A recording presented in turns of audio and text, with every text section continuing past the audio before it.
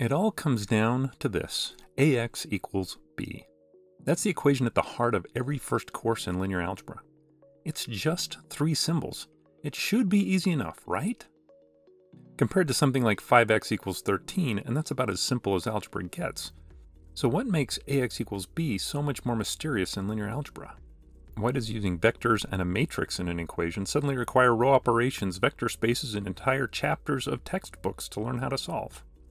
Well, it involves something a little tricky. Inverse matrices.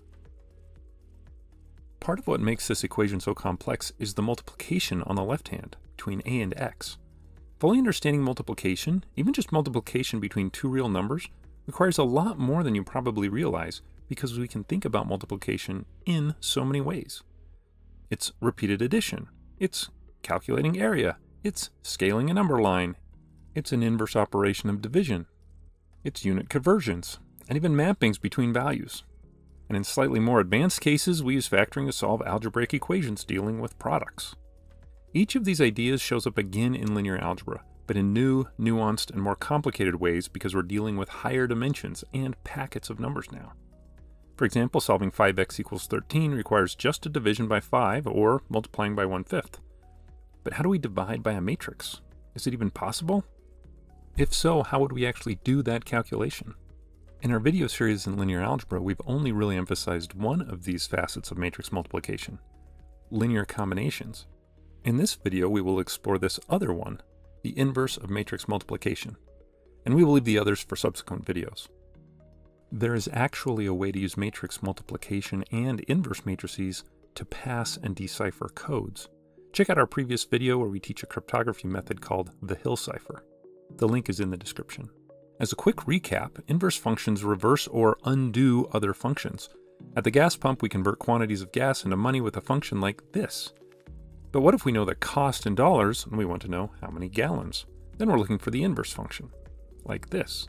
One of these takes volume of gas to money, the other takes money to volume of gas.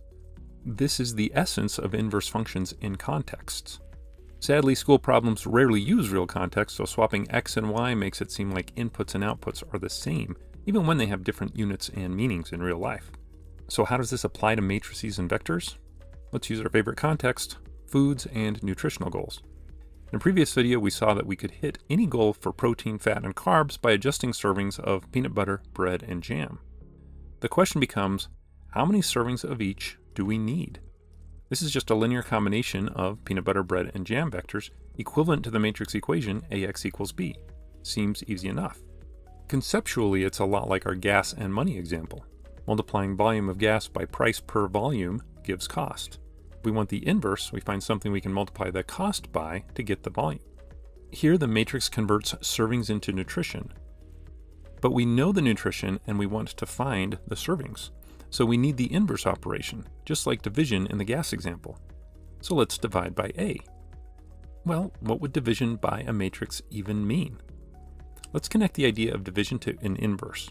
In the same way that we could think of division of 5 as a multiplication of its inverse, 1 fifth, we can think of dividing by a matrix as a multiplication by an inverse. If 5 times 1 fifth equals 1, what would a matrix and a matrix inverse multiply to? It needs to be a matrix that would not change the vector or matrix it is multiplying, in the same way that multiplication by 1 does not change the value of the number, which is why 1 is called the multiplicative identity. The corresponding matrix is what we call the identity matrix and is a square matrix with 1s on the diagonal and zeros everywhere else. To solve our equation, we should multiply both sides by a matrix that will produce the identity matrix on the left with the peanut butter, bread, and jam vector.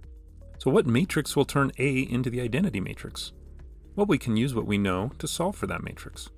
Assuming that it's a 3 by 3 matrix like A, then we can write a 3 by 3 matrix with all unknowns and multiply it by A to get the identity. We can do the multiplication and solve for all 9 unknowns, but before we do that, I am going to reverse the order of the matrix and our unknown inverse. Why? Because written this way, we will develop the same algorithm for finding the inverse that is actually taught in linear algebra classes. But we need to be careful. Scalar multiplication is commutative, so we can change the order and it won't change the product. But matrix multiplication is not always commutative. Luckily, a square matrix and its inverse are always commutative. Expanding out, we end up with three systems of equations, each with three variables. That does not look fun. We could row reduce each system to find the unknowns if we wanted. But we're actually lucky because the coefficients on the left hand of the system are all the same. That means we could do the same row operations for each of our three systems. The only thing that would change is the values on the right side. So we can save ourselves a lot of work by solving all three at the same time by putting the three columns of the identity matrix on the right hand side, then row reducing the left hand side. The right side will then be the three columns of the inverse matrix. What we just developed is the standard method to find the inverse as taught by most linear algebra textbooks. The strategy is to augment the matrix with the identity matrix, then row reduce until the left is equivalent to the identity matrix. Then the matrix on the right is the inverse of the matrix you started with. When using Wolfram Alpha, just putting in the matrix will automatically give us the inverse as part of the standard information it gives for all matrices. See? Well, okay, something's wrong. Wolfram Alpha didn't give us an inverse on this matrix. If we have it row reduce this matrix, then we start to see what's happening. It doesn't row reduce to the identity matrix, so there's no way to complete the inverse finding algorithm. But why would some matrices have an inverse and others not? Let's look back at our simple real number equation ax equals b. There's only one condition where there is no solution, and that's when a equals 0. But in our matrix equation, ax equals b, where a is this matrix, the a is not all 0, so shouldn't we be able to solve it? Well, not necessarily. If we look at the span of the three columns of the matrix, we only get a plane through three dimensions.